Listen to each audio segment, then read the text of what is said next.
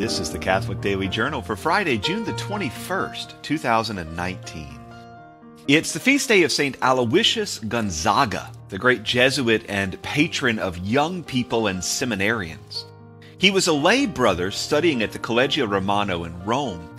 In 1591, a plague swept across Rome and the Jesuits opened a hospital for the sick.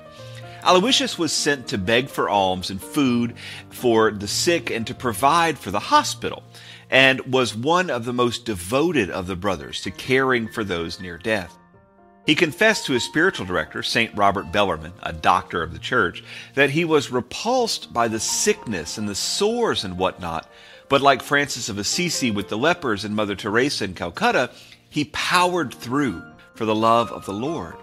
Aloysius also had told his spiritual director that he had had a vision of the archangel Gabriel, who told him he would die within a year. Just before his 23rd birthday, Aloysius Gonzaga was diagnosed with the plague and was confined to the same hospital he had served for the past few months.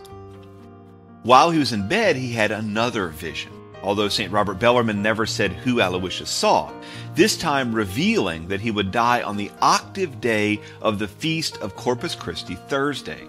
And so it was on June 21st, 1591, that he received the last rites from his saintly mentor and breathed his last just minutes before midnight.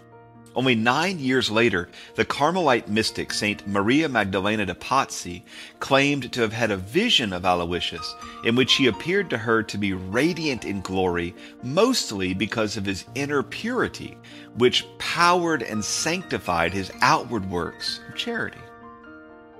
It's the birthday of two popes. In 598 AD, Pope St. Martin I, born in central Italy, and Pope from AD 649 until his death in AD 655.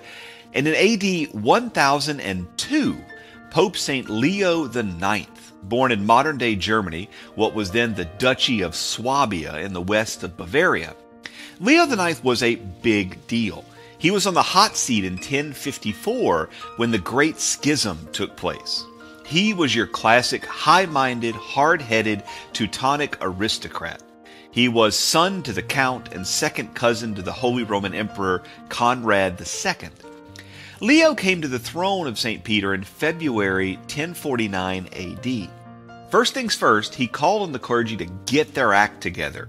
He reemphasized clerical celibacy and told bishops not to ordain men without first, you know, training them to be priests. This was still during that time when some bishops were hiring random villagers who happened to be able to read and ordaining them as priests. These men would be given the books and the keys to the local chapel and paid to read Mass on Sunday, and that's it. In the worst cases, these men were never even told they were supposed to be celibate or that they were expected to pray. They gave no sermons, they provided no spiritual leadership, they just read the words, did the actions, and distributed Holy Communion. Leo was having none of that nonsense. Leo was also up to his maniple in invading armies, German princelings, heretical traveling preachers. It was all at once for him. Remember that Francis of Assisi and Dominic weren't the first itinerant preachers strolling across Christendom with sermons to give and alms to collect. There were plenty of heretics aplenty who looked the same. From mid 1053 to early 1054, the Pope was held hostage in southern Italy after an armed invasion of the Papal States. When he got home, he was in ill health and his desk was cluttered with letters from the Patriarch of Constantinople, who was three kinds of angry about some of Leo's decisions which affected the Greek church. Tensions heated up. Just before he died, Leo sent an envoy to talk with the patriarch. That ended with the head of the Greek church being excommunicated by Cardinal Humbert and the patriarch returning the favor.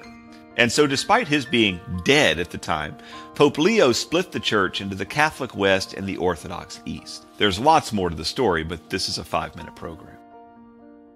The Catholic Daily Journal is supported by listeners like you. For more information, visit CatholicUnderground.com. Until next time, be on the lookout for the Lord at work in your life.